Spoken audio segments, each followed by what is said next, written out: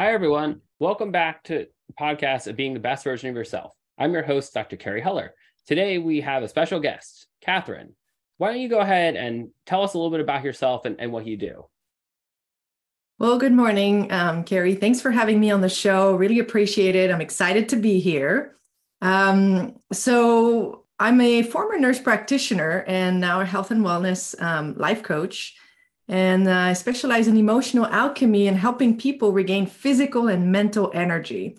So I like working with people who are tired of feeling tired and worried, and um, and help them uh, regain that sustained um, energy and focus, uh, both physically and mentally, so they can, you know, so they can um, have better um, outcomes in their life, better relationships, um, feel better in their mind and body, have more self-confidence, feel more at peace with themselves and and you know happier in their relationships and their work and whatnot. So um, I'm currently pursuing a um, studying a PhD, a doctorate in natural medicine. So this is opening up a whole new uh, world from my former medical background. This is with Quantum University. So we're bringing quantum physics and consciousness back into health, back into the holistic model of mind and body connection, because they don't go one without the other. And I know we're going to have a nice conversation about this. So that's a little bit about me. oh, great. Thank you. Well, it's great to have you.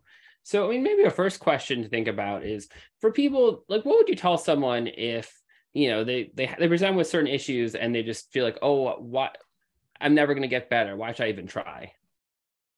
Yeah, and that's the um, um, not even trying because of of the expectation of failure. And here's the thing: your all of your cells in your body they respond to where you focus your attention. You, we, we know that energy flows where attention goes. And so if you're focused on it's not going to work, I've tried everything, you're basically setting yourself setting yourself up for failure, right? And so what I like to do is use small hinges that open big door. And it starts with being open to the possibility that because you had a tunnel vision and was, was focused on what was not working, all of the opportunity for success were right there around you, but you didn't see them. So, what if by just opening up your focus and opening up your um, uh, where you're looking at things, that oh, all of a sudden, oh, opportunities for success are coming to you. And well, it sounds like it's kind of like the idea of kind of almost taking like a bird's eye view, taking a step out of kind of this narrow focus you have on yourself and looking more globally at stuff can help you to figure out what what am I missing that's the myth that would allow me to sort of make things better in my life. Yes. And also, oftentimes, when people want something in their life, whether it's more energy or they want to lose weight or they want to, you know, make more money, whatever it is, they get sort of trenched into what it has to look like.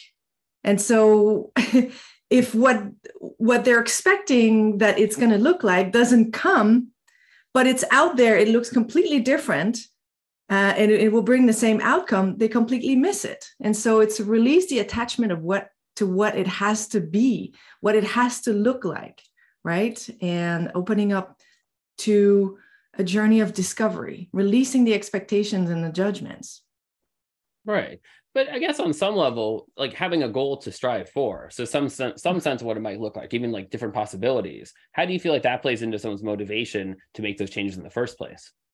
Absolutely. And I mean, in coaching, that's the, the number one step is to set up a goal. It's like you're setting up your GPS coordinates. So while in the past you were focused on what was not working, your GPS coordinate was bringing you to what was not working. So, so what do you want instead? I like to use sort of the pivot method, like the 180 degree. Okay, you, you don't want this. We're clear. You no longer want this in your life. What do you want instead? And sometimes it's the exact opposite.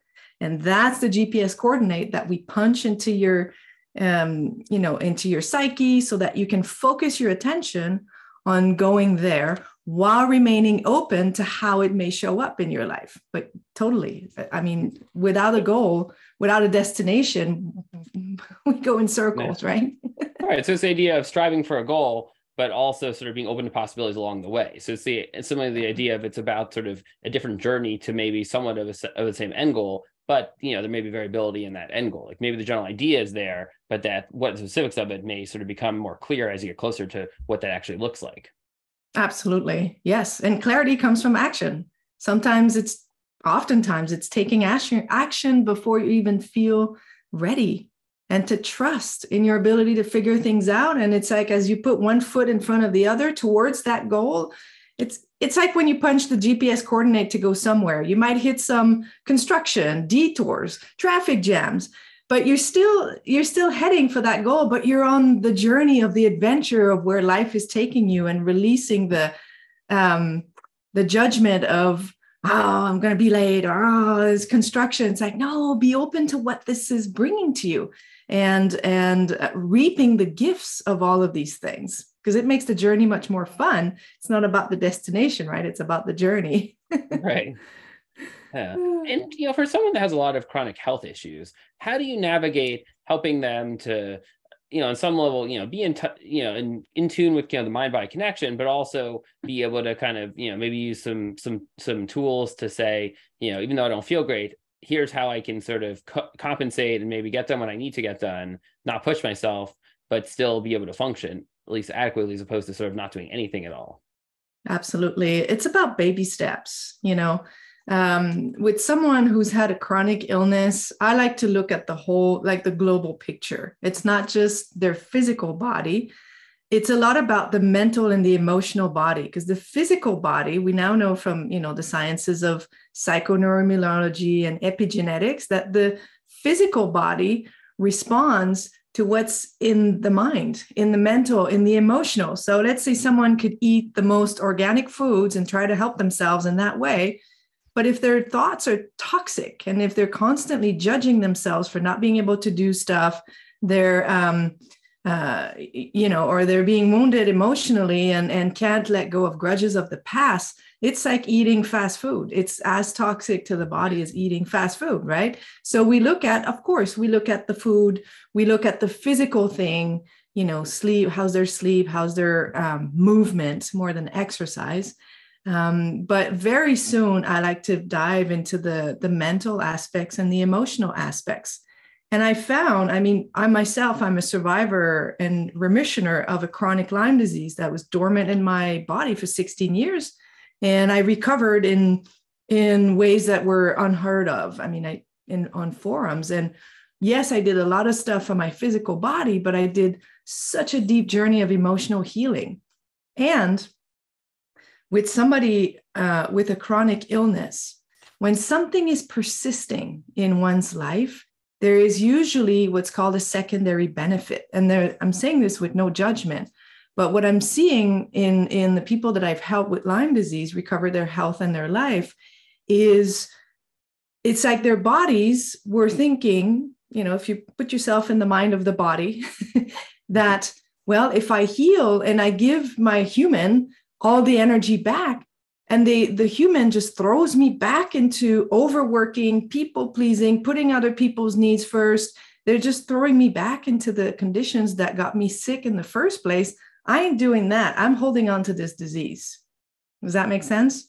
And yeah so, so it's the idea that even though it's those things are not causing the disease it makes it easier to hold on to sort of the benefits you get out of it and in turn you know and this can obviously be said for other things. I mean i see this you know kids where you know if they have a hard time getting stuff done like with ADHD or, or you know just general executive function issues sometimes the, the secondary benefit is it allows them to kind of keep having someone help them as opposed to learn to do it themselves.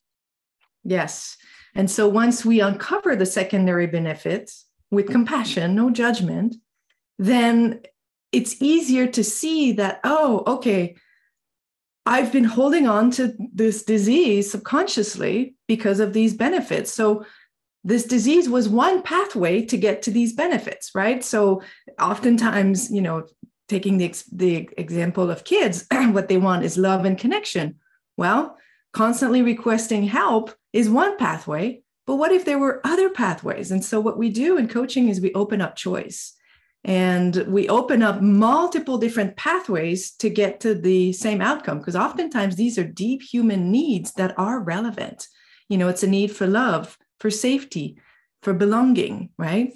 And so oftentimes with what I've noticed with people with Lyme is once they learn how to set healthy boundaries, how to prioritize their own well-being, knowing that when they put their max their oxygen mask on themselves first, they can help another person, like just in, like in the airplane. Once they learn how to set healthy boundaries, how to prioritize themselves without feeling guilty or selfish, once they make some changes in their lives, such as you know sometimes changing jobs or changing relate relationships that no longer aligns, then it's like the disease becomes obsolete and it naturally evolves out of the body. The body wants to come back to balance. It wants to come back to homeostasis, which is a state of equilibrium. And it has all the resources necessary for that. All we got to do is give it the, the, right conditions so that it can return to balance and harmony. Right, but it sounds like you're talking about the, the mental piece. Obviously, the physical piece, I'm assuming, is partially because obviously, if there's a medical cause you need to address medically, you probably have to address that as well. Of course, you work on all levels. But in the medical field, you know, I was a nurse practitioner before, so I, I'm I know the the scope of the medical field, and um, I think we we've been trained as a society to think that medicine is all there is, but it's not, right? So what if by encompassing a much broader scope and working with holistic practitioners, it's um, it's much easier to sort of set set pillars back as the foundation for the body to uh, recover recover from you know in the medicine we have paradigms that say oh you can't heal from chronic illnesses. Once you've got hypertension you've got it for life. No. Once you got diabetes you got it for life. No. There are numerous examples of people who have reversed these illnesses by making some mind body changes in their lives that sometimes are less radical than what people think. Um, but I'm definitely not suggesting that people quit their medical follow up. No, absolutely not. Keep your medical follow up, but including something that's um, addressing more of the mental, the emotional aspects, even spiritual aspects. And it does influence the body greatly. Right. And based on what you're saying, I would assume would meditation be kind of a, a big part of this?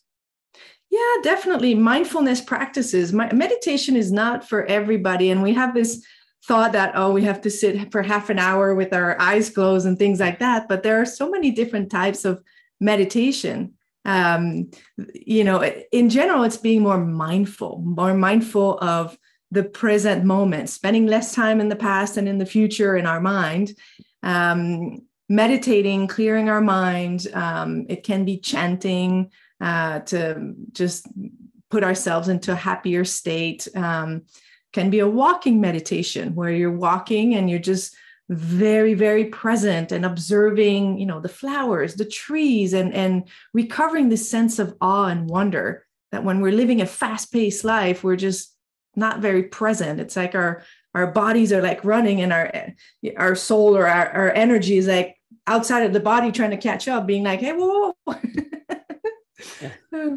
Uh, I mean, in terms of mindfulness activities, what would you suggest to someone that has a hard time focusing and, you know, the thought of listening to something even for, you know, 10 minutes is, is kind of off putting? like as a way yes. to sort of start with meditation or mindfulness activities? You know, um, start with baby steps. So somebody who's got trouble focusing, start with one minute. Just close your eyes, do some deep breaths, sometimes just 10 deep breaths where you inhale five seconds, you hold for five seconds, and you exhale for seven seconds. This is going to switch from the sympathetic um, side of the nervous system, which is the stress response of like er, fight and flight. It's going to switch you back into the parasympathetic, which is the relaxation response, the heal and and digest and and opens up um, focus and creativity. So definitely, you know, start with one minute of that. Get yourself slowly go up to two minutes, three minutes. You know, sometimes we we think, oh, I have to do like 30 minutes all at once. No, no, no. Just start with small. It's better to do one minute than not do it at all. Right. And so definitely in the mind, um, just calming the mind, calming the thoughts, um, or just being a neutral observer of the thoughts. It's like, how interesting I'm having this thought and I'm just letting it go. It's just like thoughts are are moving through you without activating your nervous system. Um, focus is such a um, I mean, just like anything else, but focus is such a broad topic because so many things can influence focus. You know, for example, if somebody is not eating right for their body, if they're not balancing their blood sugars, you know, if somebody, I don't know, if they're eating like sugary cereal in the morning and and all they have is sugar, I mean, an hour later they're going to have a sugar crash. And and when there's a sugar crash this is a state of emergency for the brain. The brain's not going to be able to focus on you know lectures and schoolwork. It's going to be like uh, i'm feeling anxious and you know so um, adjusting nutrition for focus is actually really important. I can't tell you carey the impact it had on me to when i became a health coach you know to learn about how to stabilize my blood sugar. I mean i was already a nurse nurse practitioner for you know 10 10 years you know 15 years. And i was like wow it's so simple. We should teach that to kids in school because it really opened up you know having instead of having you know sugar peaks and sugar crashes and having to snack every 2 hours and feeling shaky and irritable and all that i was really it's like i was really stable. It's like i put some big logs into the wood stove instead of some kindling wood that i have to throw every 20 minutes right? And um, and the focus is amazing. So definitely food definitely small increments of, of meditative practice mindfulness and moving the body. The body needs to you know move and and eliminate excess um, agitation if you will. Um, and obviously we live in a world of high distractions. So if we're going to improve our focus, we don't have to have a diagnosis of ADHD to have some to, to fall into some distractions. And so being intentional in cutting off distraction. If there's going to be something I need to work on for the next 20 minutes, well, putting the phone away and the, the notifications in mute and so I can be really focused and and do some deep work. Um, definitely good advice because it's, I mean, certainly there can be a lot of reasons why people have a hard time focusing. ADHD certainly can be one of them, but anxiety, depression, just in yes. general, too much going on. I mean, there's lots of things that people can have trouble with in terms of attention that really has nothing to do with ADHD. Um, I think totally. sleep is another big thing to kind of add. I think the nutrition makes a lot of sense you mentioned, but I think sleep also. I mean, I see that quite a bit that, you know, as teens or adults, if not getting enough sleep, I mean, often it can look like ADHD or, or various other issues of attention, sheer, the sheer fact if you're not getting enough sleep. Exactly, exactly. And there are studies in in uh, productivity studies that show that when you're deficient in one hour of sleep, the next day you lose 30 points on your IQ.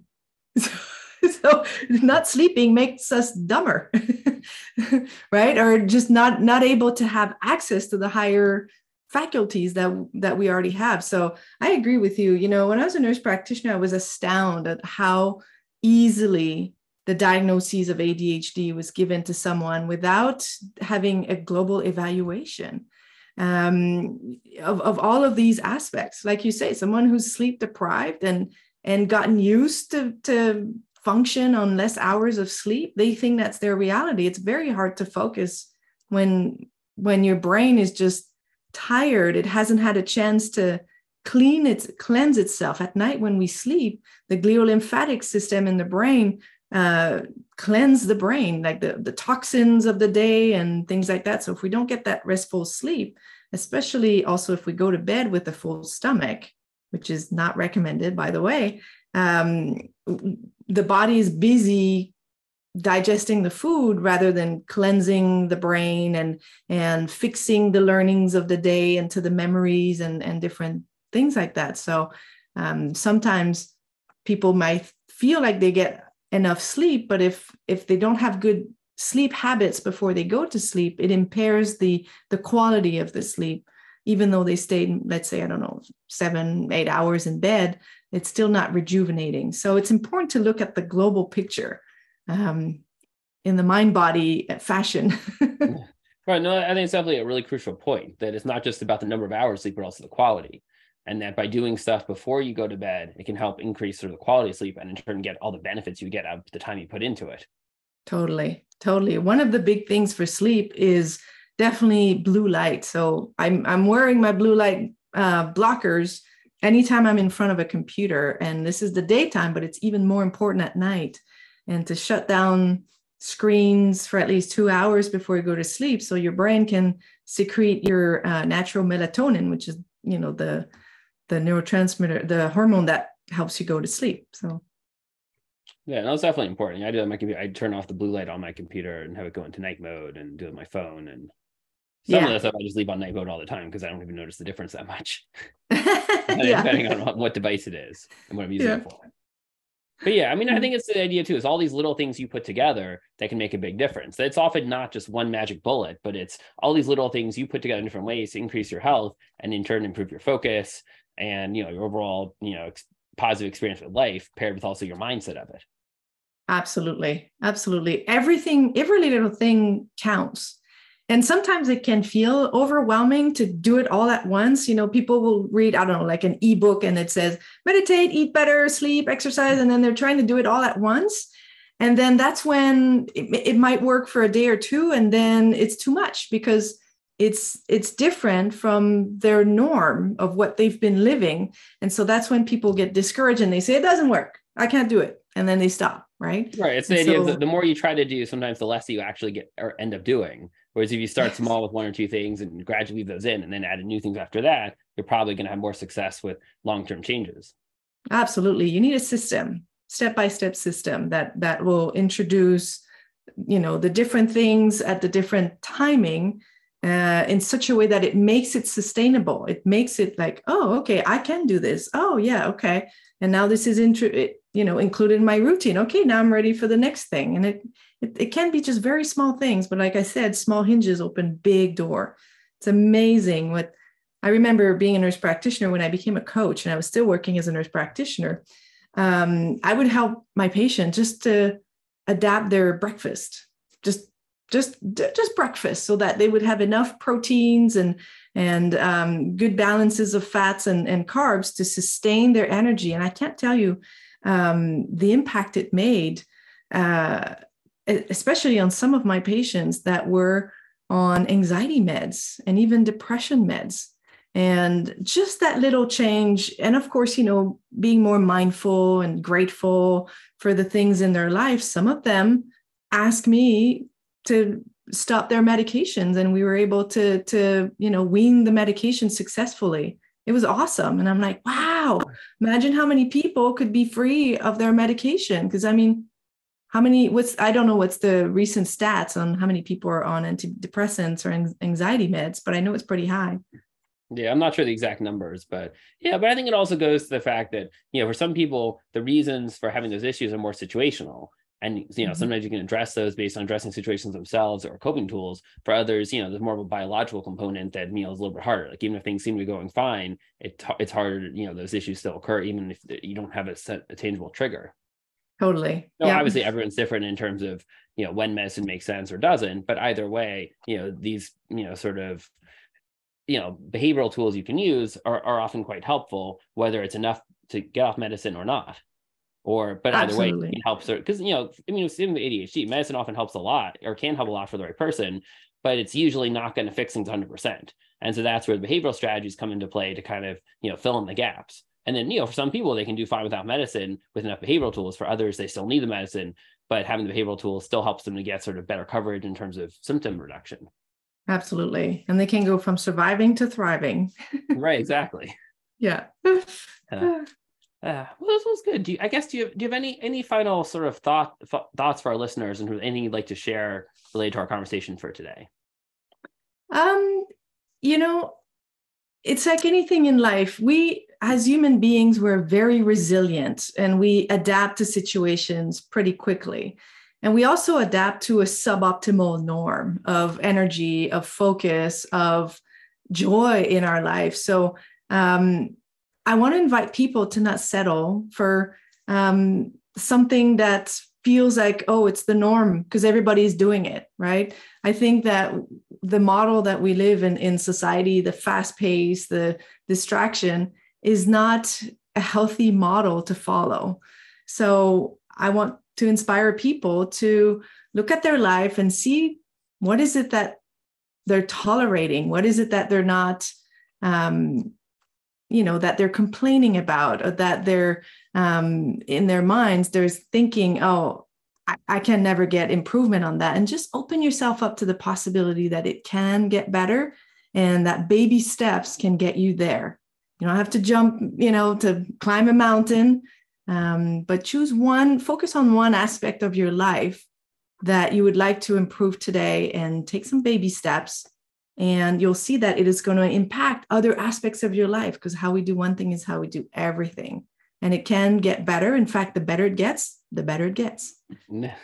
All right. Well, that's great advice. Well, thank you. And I guess if people want to reach out to you, where can they find you? Yes. So um, they can people can find me on Facebook and Instagram, Catherine Gagnon, Transformational Coach. I think my Instagram is Catherine Transformational Coach. And uh, my website is my name, catherinegagnon.ca. So I'll just spell it because it's the French way. So it's www.catherinE.ca. And so there's information on my website about different programs and how to reach me by email. So. All right, well, wonderful. Thanks, thanks again for coming out. There. It's a great conversation. We definitely appreciate you joining us today. So thank you. Thank you so much for having me, Carey. You're welcome.